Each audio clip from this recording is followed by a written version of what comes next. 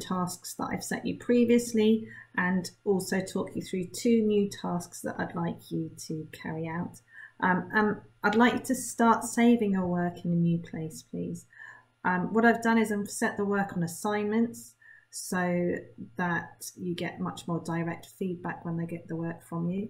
And it also means all the work is in one place and much easier for me to mark. I am really concerned about the amount of work that I'm getting from you guys. I really hope that you're doing it, but you've just saved it and are not sure how to hand it in for me. So this should make things easier. Task one to four of the uh, isolation tasks you should have already done. If you haven't, they don't take a very long time, but they do go towards 60% of your final grade. So remember, I need to see evidence of work. It's really, really important that you give me that evidence so I can start marking you.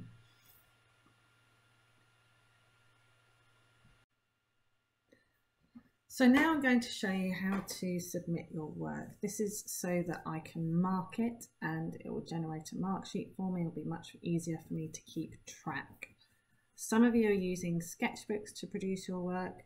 That's fine, you can keep using your sketchbooks, but I also need to see the actual photographs. I don't want the excuse that you can't print them out yet. If you can't print them out yet, you still need to take a, a screenshot or upload your photos and show me them so I can see them. So what you're going to do is you'll go to your class team, which is 10C, and on the posts, you'll be able to view the assignment. You should have seen assignments through other subjects as well. You should be getting used to this concept. And you'll see something like this. So you will click on this class notebook page and it tells you to take a screenshot or photograph your sketchbook work for isolation tasks 1 and 2. It's as simple as that. So all you need to do is edit the notebook, right click, insert your pictures or go to where your work was previously and screenshot it that way. It's really not tricky to do, but if you do get stuck, if you can't see it, then contact me. Don't just leave it. I'm here to help you, I'm here to support you, and I'm here to collect the evidence so that you get the mark that you deserve at the end of this course. So don't just ignore this.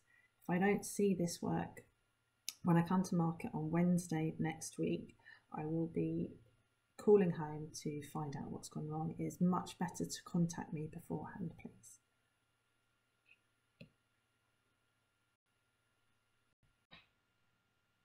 The other thing to consider when you're doing your work is what grade you will get for the standard of your work. So I have included a rubric so you can look at that before you submit your work. If you remember previously, you've all got a target grade or an indicated grade, I should say.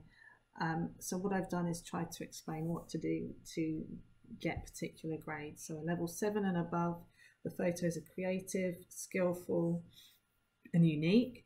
Whereas if we look uh, back down towards a grade three, there might be blurry photos included in your collection. They might be under or overexposed. Um, they're not very well thought out. Your composition might not be very good, and the subject matter might be boring.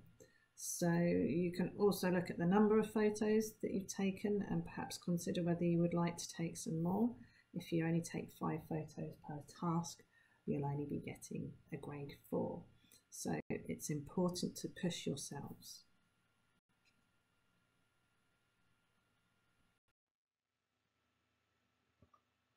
So the first task is to take photos using Google Animals 3D and there is a video on the next slide showing you how to do that. We've discussed previously in other projects how the photos you take should be interesting, should tell a story. So Try and make the photos funny or include some kind of a scenario. Don't just snap around once you've got the animal up on your um, camera. When you've finished taking the photos, please upload them um, and then I'd like you to screenshot where you've uploaded them and save them into the class notebook, which is going to be explained to you in a, another video. Um,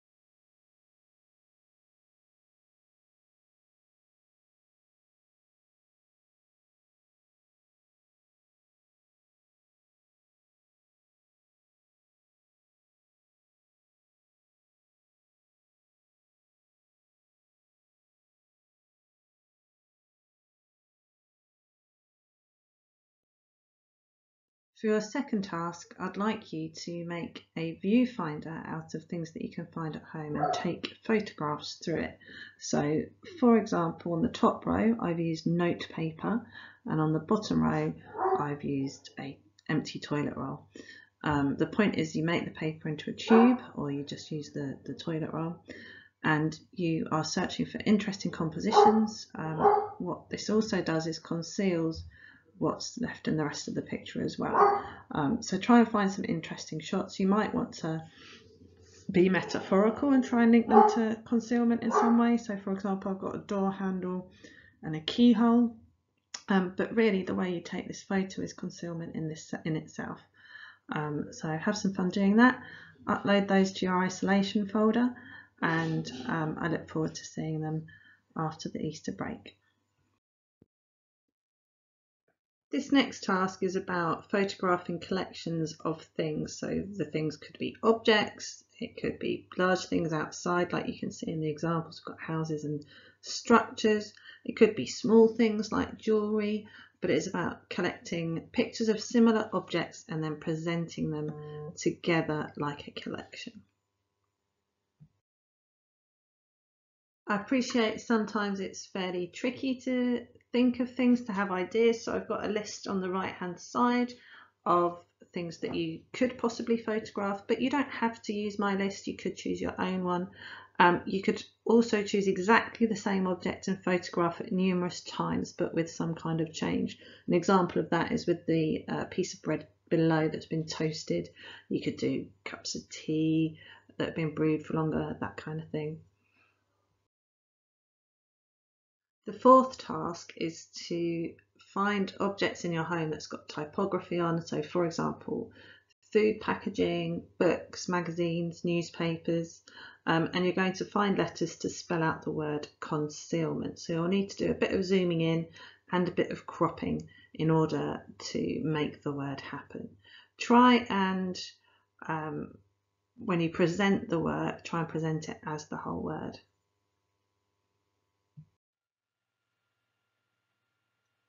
Task five is to attempt to conceal your lens, but in a way that will still take a photo. I've got a few examples over the next couple of slides, and I've chosen to use the same subject matter, so I've taken photos of my dog in different ways.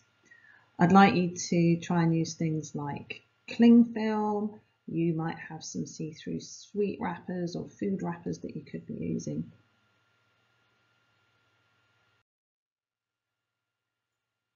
You don't only have to use see-through objects like the plastic drink bottle on the left. You could look at using things that will actually hide part of the picture. So for example, I've used the shelf of my oven and I've got the baking paper, which works quite nicely because it creates a lot of blur, but also picks up the um, colours in the picture.